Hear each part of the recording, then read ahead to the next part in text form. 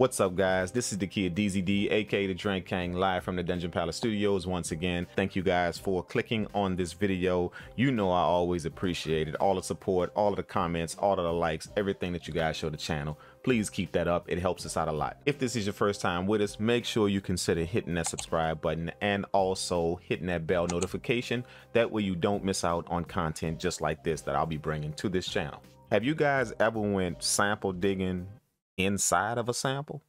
Sample digging inside of samples. Awesomely amazing concept. What you do is you grab a nice sample, something kind of airy, something kind of melodic that has a few nice different hits in it. And you grab samples out of that sample and you make a beat with it. I'm gonna jump inside, I have one loaded, and I'm gonna show you how it's done. Follow your boy, and let's get it rocking.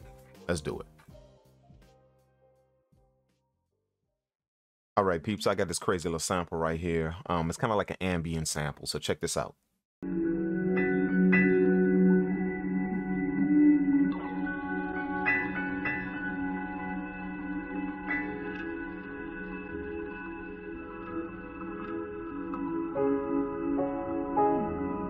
Kind of like some outdoorsy type stuff. Now this sample right here has a bunch of hits in it. You can see where the sample gets big, like it gets big right here, it gets big right here.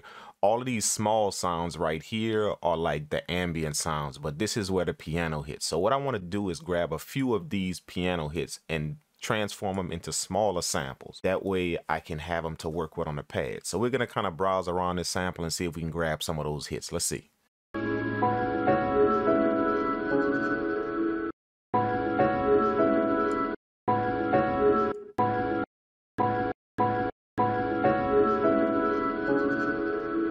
See, that's a good one right there.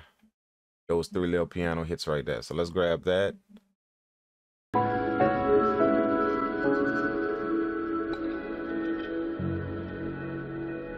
Let's process that. And then we're going to extract that into its own sample. We're going to keep this neat. So we're going to name the samples just like um, sample one. Okay. And then we hit do it. So we have that as sample one. Okay, let's find something else. Let's see what's up with this big piece right here.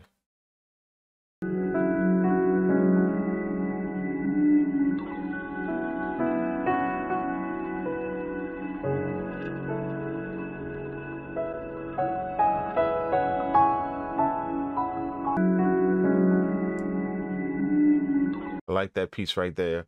So let's process that and we're going to extract that. We're going to, we're going to call that sample two.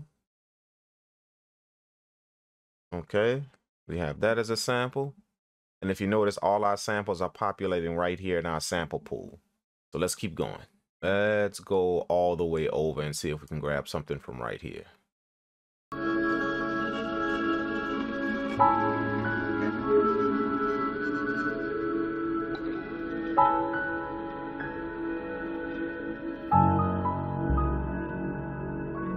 That's nice right here.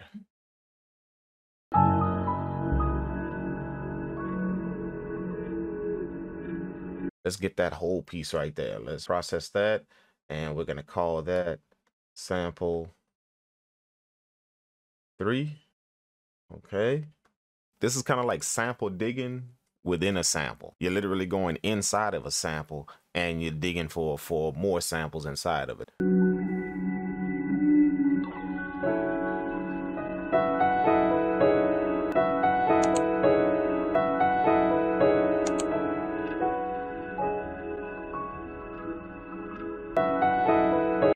Like that piece as well right there.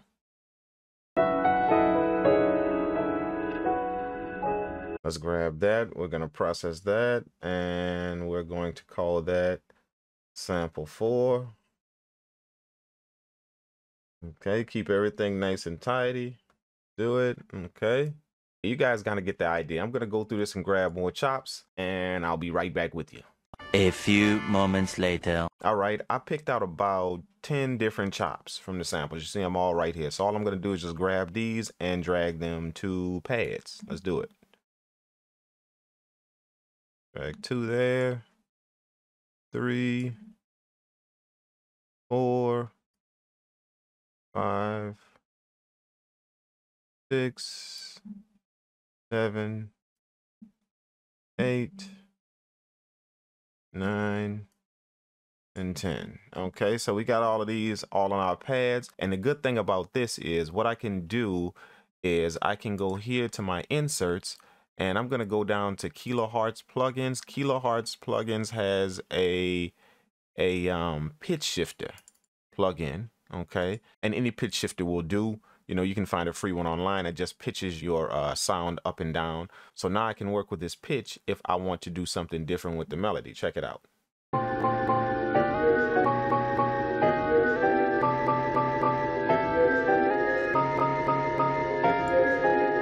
So I can pitch the melody however I want, pitch my chops however I want um, after I do it, and it's going to affect all of the chops because I have it on the program. Okay, I'm creating this, this sample program from scratch. Normally, when you do shift and convert after you chop up a sample, it automatically does everything for you. But since I'm creating this from, from scratch, I have to go it on and put this right here in program edit. I have to put this to mono. And what this is going to assure me is that the samples cut each other off.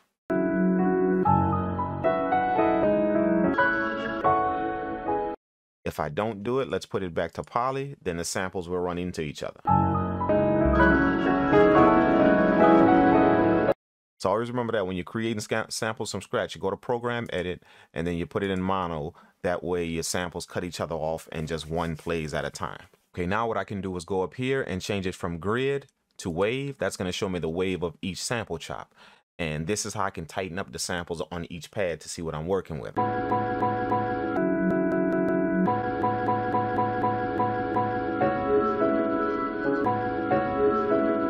See, I can start this chop at the beginning. I can start it here.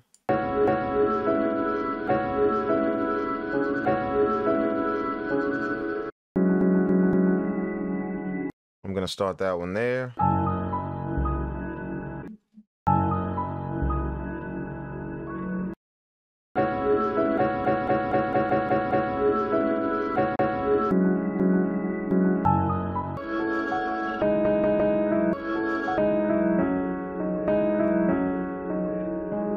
Okay, I think I got all the chops where I want them. So now I'm to go back to the grid and we're to see if we can lay something down, if I can come up with some type of vibe with this, this sample. Let's see.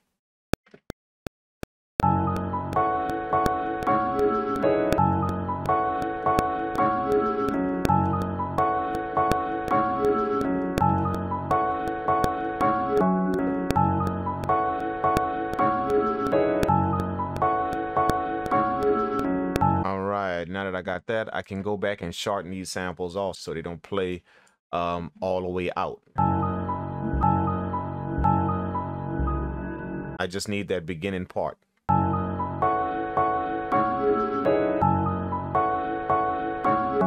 Okay.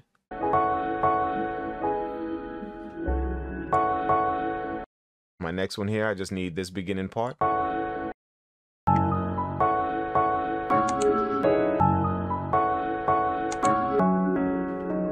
Just picking the parts of the sample that I need.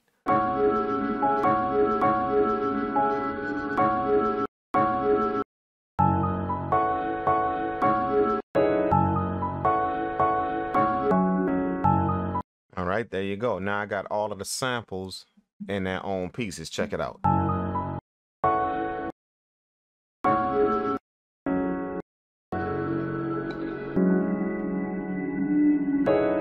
Now my sample doesn't play out long on the chops that I have. All right, the next thing I'm gonna do is go back to program edit and start working with the beginning and end points of the sample. So I'm gonna go here and click all, that way all of the pads light up. Anything I do will affect all the pads. I'm gonna go over here to the envelope and we're gonna work with the beginning part of the sample and the ending part of the sample is the decay. So the attack and decay, let's work with that.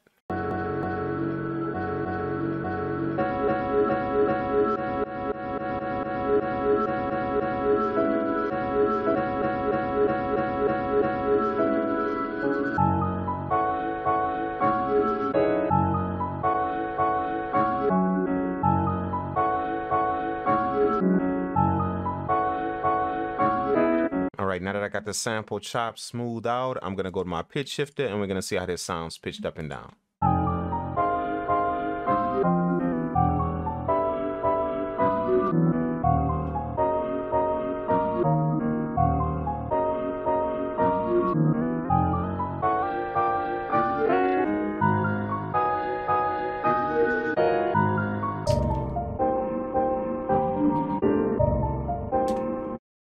Let's see if we can put it put an EQ on that and kind of work with it a little bit.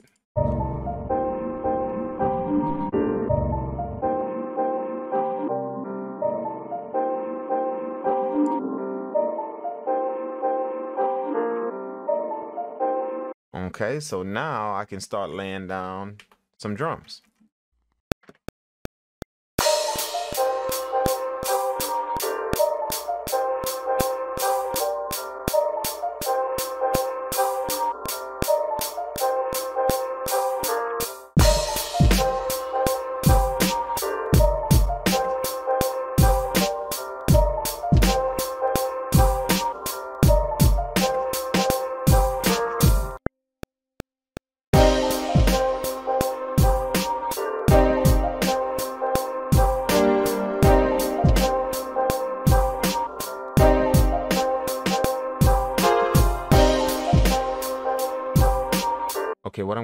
Is take the first note in the first chord and invert it down.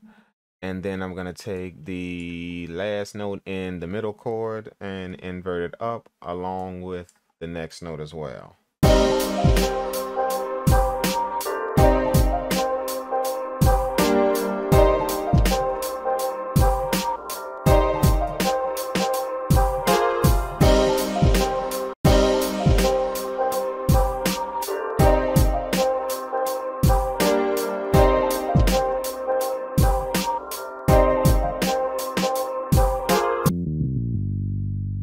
Make this into some nice groovy type type boom bap. Let's do it.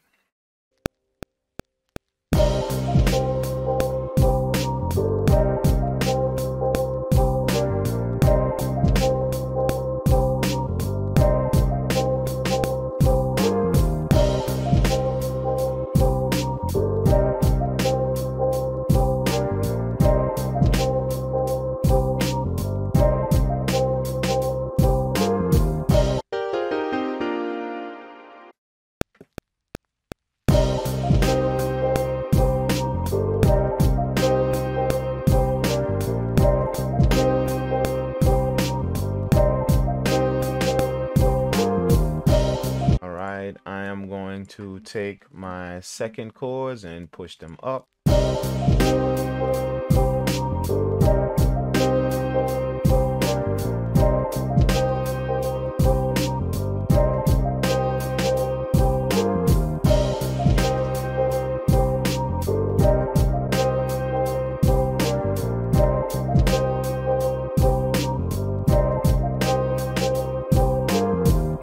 That does it for the video. I hope you guys picked up the concept of digging for samples inside of a sample. If you guys didn't understand what was done here, make sure you rewind the video and check it out again. It's a very simple concept. I'm sure you guys will pick it up very, very quickly. If you got any value from this video or you picked up any slight tips that'll help you out, make sure you guys consider hitting that like button and also drop a comment below and let me know if you understand exactly what was done here. I will let you guys know now that I do have a sample flip contest coming up that's going to be going down live on the Twitch channel. Make sure you guys are subscribed to my website with your email address. That way you don't miss the exact date that we're going to post it on. You'll get a notification if you're only subscribed to my website. So make sure and do that. The link is in the video description as well. Subscribe with your email address. That way you catch the date and time and you can be part of the sample flip contest. If you guys want to ask any questions or say what's up, send a shout out, just hit me up on Instagram. Make sure you drop me a follow at Da Drank Kang.